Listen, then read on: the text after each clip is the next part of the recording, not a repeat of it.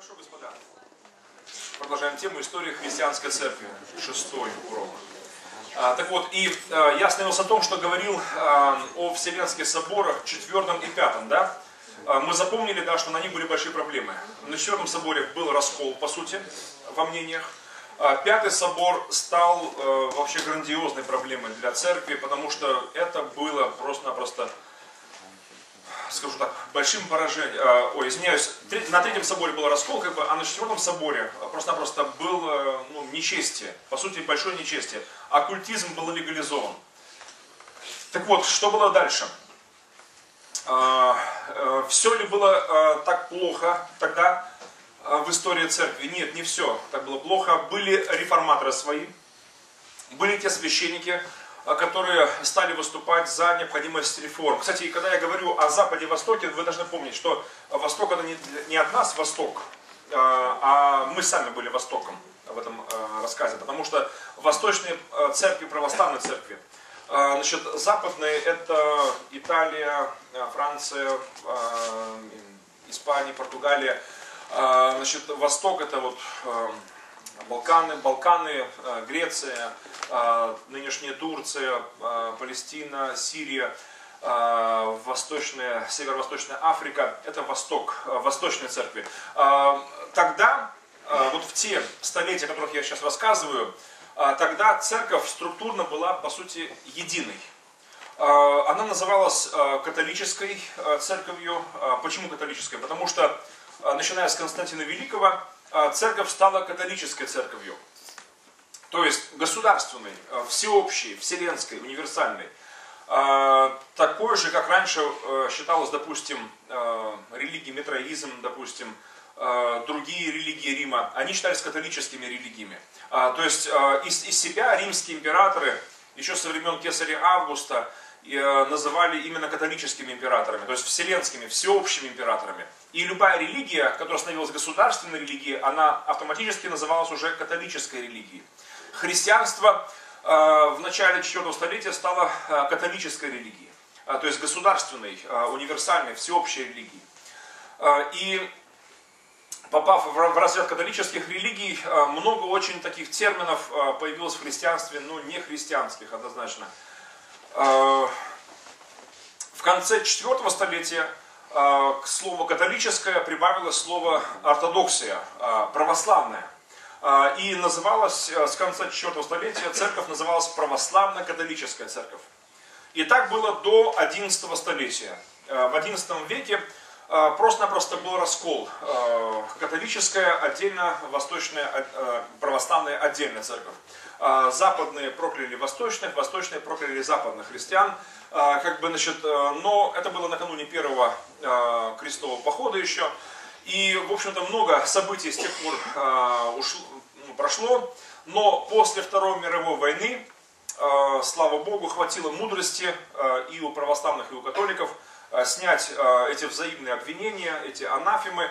И э, в Риме, и в Константинополе, бывшем нынешнем Стамбуле, э, патриархи и Папа Римский э, торжественно уничтожили точные копии э, вот этих э, проклятий. И было объявлено э, всеми православными патриархами, э, кроме СССР, э, все остальные православные участвовали. СССР э, не участвовал, потому что КГБ не дало возможности делегации выехать э, за границу на подобное.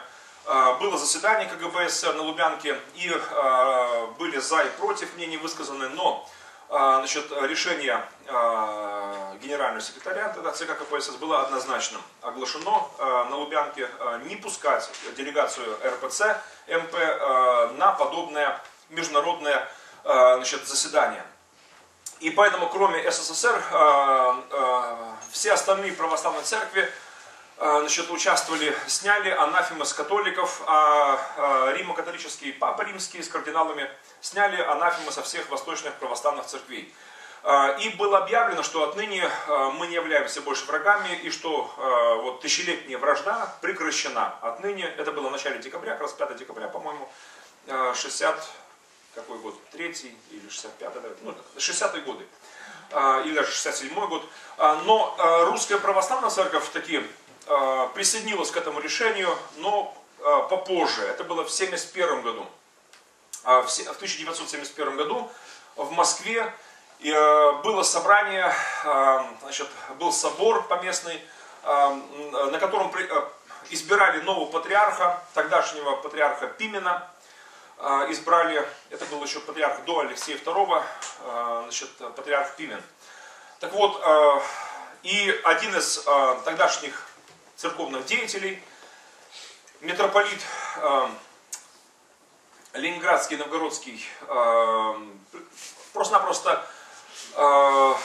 заявил, что надо нам присоединиться тоже к этому, в общем-то, решению. И Русская Православная Церковь официально присоединилась. Э, так вот, но раскол, э, он, как сейчас принято считать, до сих пор как бы он о себе дает знать, потому что, э, значит, по крайней мере, на территории бывшего Союза иерархи занимают по-прежнему такую позицию, значит, двойственную. С одной стороны, есть решение о снятии анафем и признание братьями католиков – и э, равными абсолютно. С другой стороны, есть традиция как бы чураться католиков и как бы быть в стороне.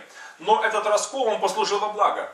Во благо всем, фактически, как ни странно это звучит, но благодаря этому расколу состоялась потом и реформация сама. Потому что структура, будучи такой мощной, целой, цельной структурой, она бы ну, с большей легкостью подавила бы реформацию в 16 столетии. Но будучи, будучи разделенной, церковь, она по-другому реагировала. Хорошо. И о Византии, о том, как происходило смешание христианства с язычеством. Я уже много рассказывал сегодня об идолопоклонстве, допустим, да, но я говорил об идолопоклонстве только лишь 4 и начало 5 столетия. А что было потом? В VI веке появились такие учителя на Западе, а, которые говорили, что можно не только иметь изображение, а, допустим, Марии, апостолов, но и даже, или Христа, но даже и поклоняться пред ними. Не ради их самих, этих изображений, а ради того, кого они изображают. Через образ на первый образ. Были такие учителя. Один из них а, значит, проживал в Италии, и он учил как раз именно об этом. Но итальянские епископы разделились во мнениях. А, Леонтий, его звали Леонтий из Неаполя, неаполитанский епископ, учил, что так и так, мол, а, что можно а, целовать портрет, допустим, Иисуса, икону Иисуса, или икону Марии, или икону там какого-то из апостолов, но имея в виду не саму доску и краски, а того, кого они изображают.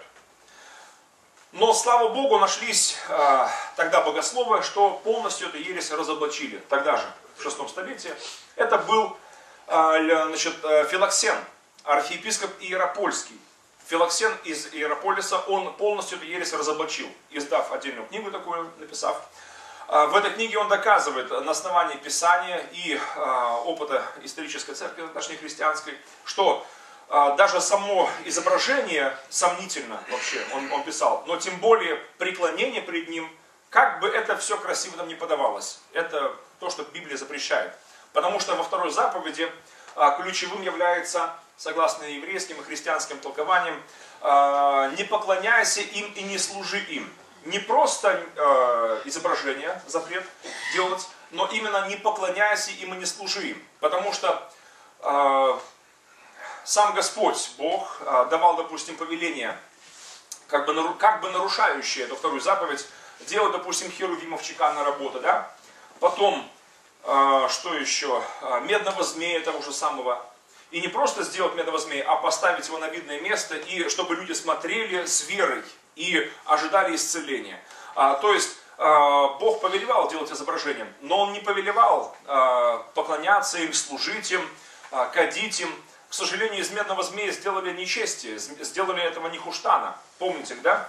В четвертой книге царств, в 18 главе, прочитайте о благочестивом царе-реформаторе Иерусалимском Езекии, который уничтожал изображения, вырубал рощи, где было идолопоклонство, и также уничтожил медного змея, которому до тех самых пор, будьте здоровы, поклонялись люди и призывали его имя, или же в русском переводе написано, называли его Нихуштан.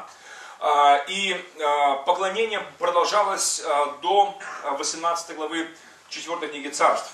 А потом это преклонение прекратилось. И Бог очень сильно благословил Иерусалим. Когда пришли враги, то Господь заступился за Иерусалим, заступился за евреев. И ни один еврей не погиб, но враги погибли.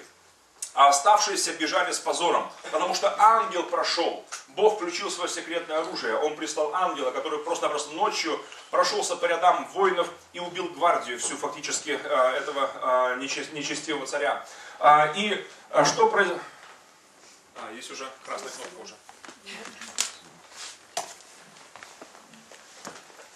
Шкипер у нас проблема.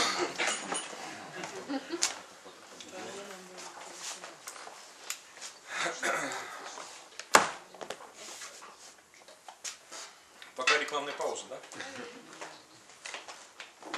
Сейчас патроны заявлю.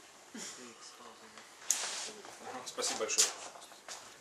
Слава Богу. Так вот, и вообще-то интересная же тема, да? Слава Богу, полезная очень тема. Так вот, и по поводу а, поклонений, кстати. А, потому что а, до сих пор эта ересь распространяется, и до сих пор в семинаре будущим священникам говорят так примерно, что вот мы поклоняемся не самим иконам, мы не идолопоклонники, а мы, поклоняясь перед образом, перед иконой, имеем в виду первообраз. И обычно очень красивую такую картину рисуют, перед студентами говорят, что смотрите вот так и так, перед семинаристами, что смотрите, вот парень любит девушку, он целует фотографию до девушки, но он любит не саму же фотографию, а любит девушку, и он умом перекидывается на первый образ, через образ на первый образ. И, и однажды я значит, разговаривал с одной девушкой, мне сказали, что у нее большая проблема, она попала в секту к пятидесятникам, значит, и я был ортодоксальным священником православным традиционным, и мне сказали, что она там месяц или два уже ходит к писятникам. Я думаю, ну хорошо, что еще так, потому что нам говорили, что первых полгода процессы обратимые. А, как бы, поэтому можно поговорить. Я был по сектоведению у меня была пятерка. Я мог как бы, значит, считал, ну, как бы разубедить а, значит, человека. И я стал с ней разговаривать. Представляете, значит, попытался поговорить, а она без году недели открывает Библию мне, батюшки, мне, батюшки, Библию открывает, и меня на чистую воду пытается вывести. И говорит, батюшка, ну вот вы говорите там э, вера истинная, а вот а почему же там вот, иконам поклоняемся, там все прочее. Я говорю, ну-ка, говорю, девушка, закрой-ка Библию, давай поговорим по-другому, по-нашему, по-православному. Вот, знаете ли, я пустил там много дыма, такого религиозного. Вот, и Потому что религиозных аферистов легко выявить, э, выведя их на чистую воду, на Слово Божье. А, там очень трудно обманывать, приходится очень сильно изворачиваться. Значит, но, значит, э, как правило, э, в православной традиции очень примитивная ложь, которая не выдерживает даже первых пяти минут библейской критики. Не говоря уже про детальное рассуждение библейское такое. Так вот, и хотя есть такие изворотливые такие личности, которые пытаются, значит, особенно из бывших протестантов, я встречал таковых, которые по такие вещи говорят, что ой-ой-ой, души света святых выноси, что называется. Превращают Писание. А, так вот, и, а, и я стал ей рассказывать, говорю, слушай, тебя там в секте уже обработали, видимо, хорошо. Но, говорю, запомни, говорю, мы иконам не поклоняемся. Ну как же, я же видел, целую типа. А нет, нет, ты вообще еще ничего не знаешь вообще. Вот мы через образ на первый образ. Я историю с девушкой и с парнем рассказал. Она говорит, ну, ну красиво, хорошо, как бы. Она согласилась, думаю, ну хорошо, думаю. А потом говорит, ну, а, батюшка, ну а если девушка рядом с ним сидит, а он не ее целует, а фотографию целует? Что, извращение? Что? Вот, я говорю, ты ничего не поняла вообще, конечно. Вот, вот а потом другой, другой вариант был еще что ну, парень любит девушку, а целует журнал со многими девушками. Вообще, кого же он любит, вообще непонятно. Я еще понял так, что думаю, ну, все-таки, ну, потом, я уже, я, конечно же, уже размышляя сам дома, я уже стал думать так, думаю, надо же, все-таки в этом что-то есть. Потому что э, ведь идет речь не только об, что у нас в наших храмах только лишь один Христос изображен, да? Но ведь там много всего остального. На самом деле, кому же мы поклоняемся вообще, в конце концов? Кого же мы имеем в виду вообще? А, значит, и э, очень странная ситуация, конечно. А потом, э, перечитывая именно Божье Слово, Библию я понял просто, что не у нее и не у других там этих э, протестантов проблемы, а у меня, у батюшки большие проблемы. А, что я пытался а, значит, доказать себе э, и Богу, и людям, что я не идолопоклонник, идолопоклонник не я, а что у меня все хорошо, и что в нашей деноминации вообще все лучше, э, чем может быть даже. Но оказалось, что у меня большие проблемы, очень серьезные проблемы. И это, имя этой проблемы идолопоклонство. Как бы я красиво это не преподавал. у меня большие проблемы. И у меня был один выход, ну два. Либо даже мысль мелькала тогда, в 96 году, что, может быть, зря я для себя Библию вновь открыл, лучше бы я ее не открывал, знаете ли. Но была другая мысль, покаяться. Покаяться и просто-напросто больше так не делать. И изучая вновь и вновь, обращаясь к истории христианства, через Библию уже пересматривая все, я понял, мне надо, мне надо покаяться просто-напросто. Просто покаяться. Слава Богу. И, конечно, ересь Леонтия из Неаполя, она до шестого столетия была неизвестна в христианстве. Но вообще в религиях мира она была известна. Допустим, в эпоху позднего эллинизма, там, то же самое там, Апулей в метаморфозах, там, другие авторы античные писали, что они, допустим, поклоняются перед статуей Изиды, но они не самому камню поклоняются, не самому образу, а первообразу, через образ на первообраз. Даже эти античные авторы высмеивали тех своих сограждан, простолюдин, там, крестьян, которые именно самому камню поклонялись и чуть не обожествляли сам камень, значит, и носили с этим камнем, там, значит, и с этим образом. Вот, но просвещенные греки, также и римляне считали, что не сам камень достойный славы, а боги, которых этот камень изображает, или этот портрет изображает, через образ на первый образ. Но в христианство эта ересь была, вот известно, что Леонтием из Неаполя а, привнесена. Потом была еще одна очень интересная история. В конце 6-го, начало 7 столетия а, произошло событие интересное во Франции, в городе Марселе. В Марселе был молодой епископ, его звали Сирен. Э, его направил Папа Римский Григорий Великий тогдашний. Григорий Великий был э, известным служителем, он официально святой э, православный в католической церкви. О Сирене, епископе Марсельском, очень мало известно. Но известно, что он был, по сути, как реформатор. Потому что, приехав в Марсель, он начал активно проповедовать в церквях, что убеждая жителей Марселя покаяться и покаяться в том числе в идолопоклонстве. В Марселе э, была иконописная мастерская, и Марсель э, торговал с другими городами. И э, иконы, образа, статуи, всевозможные статуэтки распродавались значит, в других городах с Марселя. И группа богатых горожан Марселя имела этот бизнес, именно эти иконописные мастерские. Сирен в течение нескольких месяцев буквально смог убедить большинство граждан города оставить это нечестие. Он объявлял дни такие, когда люди своих домов приносили вот эти иконы, всевозможные кресты, всевозможные статуэтки приносили и все это торжественно сжигали на центральной площади города Марселя. Значит, и а, казалось бы, все, пришла реформа и церковь а, в Марселе обновилась. Но не тут-то было. А, очень сильная оппозиция была против епископа этого, потому что вот эти богатые горожане писали жалобы, стали писать много жалоб в Рим, просили папу римского Григория Великого убрать Сирена с их города. Склады были забиты готовой продукцией, иконами, крестами и э, статуями. Они не раскупались. Больше того, горожане уничтожали свои изображения э, с большим энтузиазмом. С церквей были сняты все образа, кресты, иконы, значит, и статуи. И а, как бы прежний епископ, он все на самотек пустил, и как бы уже храмы были, костелы были заставлены подобной мерзостью. И все это было вынесено и уничтожено на главной площади города Марселя. И вот, сохранилась переписка этих богатых горожан, марсельцев, а, с папой римским Григорием. Григорием. Самое интересное, а, Григорий Великий написал много писем туда, в Марсель, как бы успокаивая народ. Как бы. Так вот, что интересно, ни в одном из этих писем он не осудил действия архиепископа епископа Сирена Марсельского. Ни в одном из писем. Наоборот, Почти в каждом письме он пишет а, о Сирене, как а, именно о епископе достойном, а, достойной жизни и хвалит его за ревностное служение церкви. Представляете себе? Святой православной и католической церкви хвалит епископа, который разубедил горожан поклоняться иконам Христа и все изображения придавал огню и уничтожал их. То есть иконоборцу, по сути. Так вот, и единственное, что в одном из писем горожанам э, Григорий Великий написал следующее, что по его мнению иконы возможны в церквях, но как Библия для неграмотных. Вот эта фраза, за нее ухватились э, горожане некоторые. Библия для неграмотных. Григорий Великий считал, что когда э, европейцы, жители Марселя, других городов Европы, когда они будут грамотными, и они смогут читать Библию сами, тогда иконы отомрут сами собой. Что эта проблема уйдет в небытие.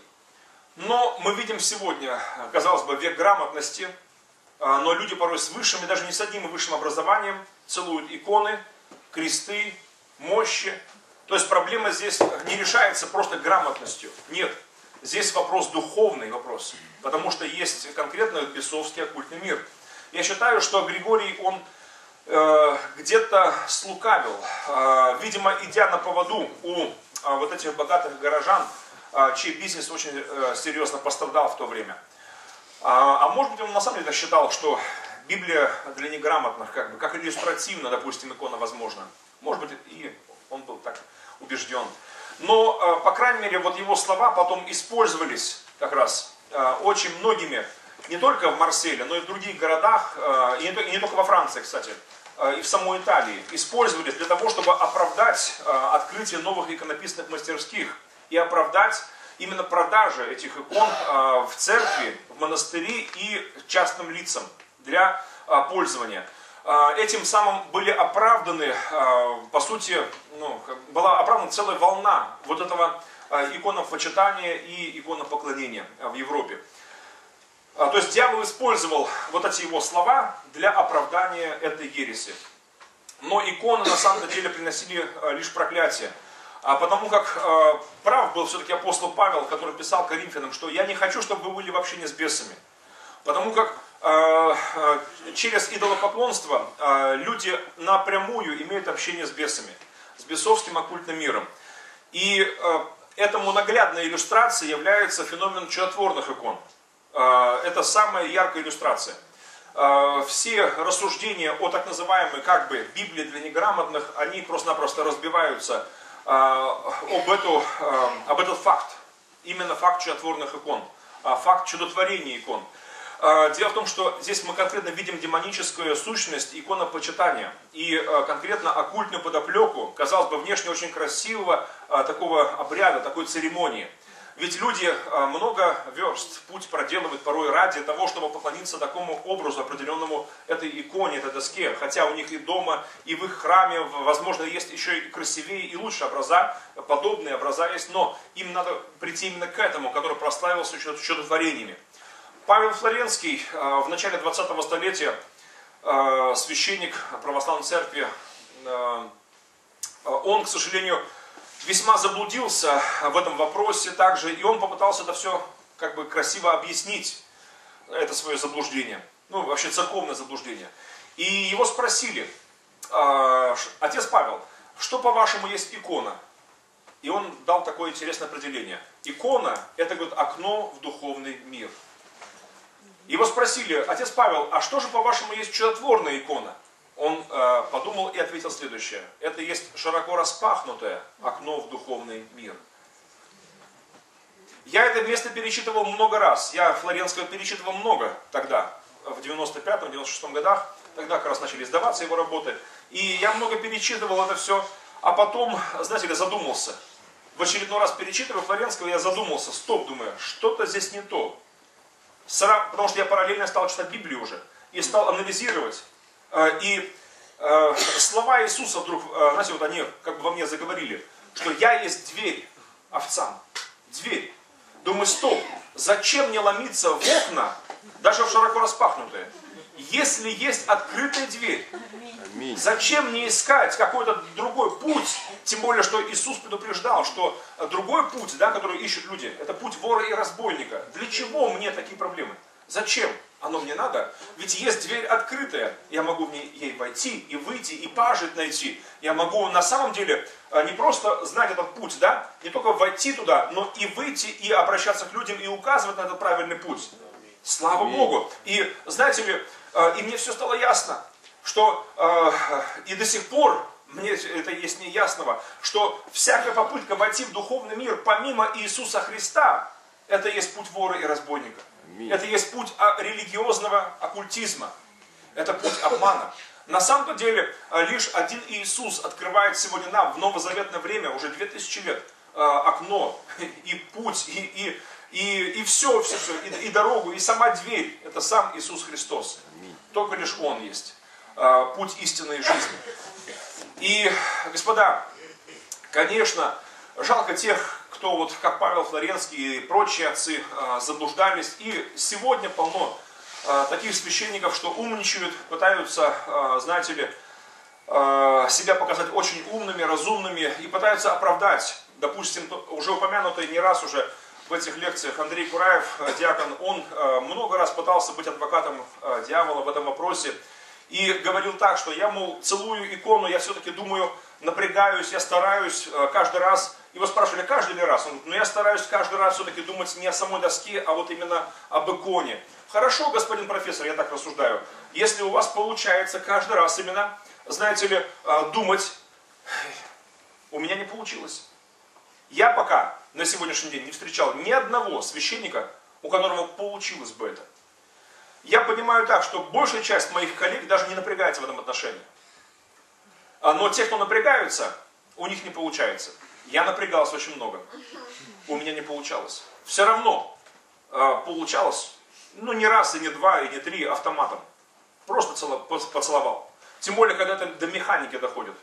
Благословен Бог наш. Все, зашел. Часы начинаются, литургия. все. До автомата доходит уже. И, понимаете ли, когда одна и та же литургия, одни, одни и те же тексты читаешь год, два, три, пять, шесть, уже э, другие переживания совсем. А, Я был похож на того монаха, который говорил во времена еще Франциска Азийского, Господи, если ты вездесущий, как так получается, что я каждый раз оказываюсь там, где тебя нет? В чем проблема? Он-то вездесущий, он, он, он здесь, но где он? Знаете ли, и чем больше, это как в болоте религиозном, знаете ли, чем, как в обычном болоте, чем больше суетишься и копошишься, а я много старался делать, что меня еще больше засасывало это болото. И кризис был внутренний очень серьезный. И слава Богу, что ответом был Иисус на все мои вопросы. Ответом на все мои переживания. Слава Иисусу Христу. И, друзья мои, а, мне очень а, хочется, чтобы многие люди, особенно в рясах с крестами на груди, чтобы они осознали, в ком спасение наше. А, Осознали. Потому что, а, знаете ли, наверное, самая пакостная, мерзопакостная такая вещь, которая творит многобожие, идолопоклонство и оккультизм религиозный, уже названный сегодня не раз, а, в жизни церкви, знаете ли, что делают? А, Просто-напросто убивает как бы духовный иммунитет тела Христа. А наш иммунитет, иммунитет тела Иисуса, это библейское понимание спасения. А Библейская уверенность в спасении, библейское понимание спасения. Если этого нет, церковь выеденного яйца не стоит. Если этого нет, э, церковь, она лишь наз- называется церковью. Она не может быть настоящей церковью Христа. Потому что люди, даже приходя в храм, как бы он ни назывался там, Александра Невского, Ксении Петербургской, Серафима Саровского, как бы, это ужас, конечно, назвали именами разных людей, достойных, недостойных, разных. Но, при чем здесь это? Люди-то приходят к Богу. Человек, даже если он атеист, он все равно ищет Бога в этом храме, как бы он ни назывался. Моя мечта, чтобы эти храмы назывались однажды именем Божьим, именем Иисуса Христа. И чтобы они не назывались именами даже там, может быть, уважаемых самых людей, там, царей, князей и ангелов. При всем уважении к этим личностям, э, знаете ли, историческим, даже если они сами самые великие из великих, никто не великий, э, не может быть величие Бога быть. И, э, но хорошо, люди ищут Бога, но нельзя нам, священникам, вместо хлеба подавать им камень людям, а вместо рыбы змею, вот этого религиозного культизма. И люди ищут спасение, а спасение только в Боге, спасение только в Иисусе Христе. Аминь. И знаете ли, доходит до просто маразма религиозного. Э, Люди, заканчивая семинарии, даже академии заканчивая, не знают пути спасения. Э, Вы можете протестировать местных батюшек. Я не знаю, но э, к- из моей практики скажу, что процентов 99 э, всех священников, кого я так таким образом тестировал, я спрашивал о спасении. Спрашивал, как спастись. Еще до того, как стал священником сам. Потом, уже будучи священником, разговаривал с высокопоставленными некоторыми священниками, архиепископом, э, и не одним даже, с митрополитом, и даже не одним. Хотя был простой, простой сельский батюшка, но иногда у меня была возможность поговорить, пусть немного, но с некоторыми высокопоставленными особами. Некоторые из них уже ушли в вечность уже. Некоторые еще живы. И я спрашивал, среди прочего, и об этом. Никто из них не мог дать мне нормального, библейского, ясного ответа. Спасайтесь. Знаете, как, как этот Гуатама Будда, основатель буддизма. Он ничего не мог ответить. Когда ученики собрались попрощаться с учителем, они спрашивали его, Гуатама, как спастись? Он сказал только лишь, спасайтесь. Все. Получается, спасить утопающих, дело рук утопающих. Ха, Но христианство не так. В христианстве настоящем есть Спаситель, есть Иисус Христос. И ни в ком ином нет спасения. Слава Богу, друзья мои. Слава Богу за спасение, слава Богу за жизнь вечную. Аплодисменты великому Богу.